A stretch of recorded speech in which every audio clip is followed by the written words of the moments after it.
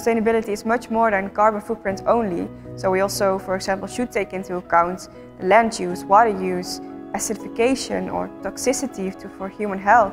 At Alltech Coppens, we developed a sustainability score, scoring and labeling our feeds um, for the industrial segment. Basically, that, that score really says is not only the carbon footprint, but it also uh, all the different sustainability indicators. What excites me the most about aquaculture is that I really believe that aquaculture can um, can support future generations on our planet. It also provides other healthy um, nutritional uh, values that we really need. I strongly believe that fish are part of our future.